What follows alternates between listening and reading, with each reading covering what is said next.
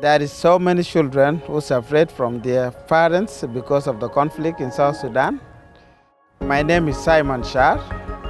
My job is to reunite those children with their family.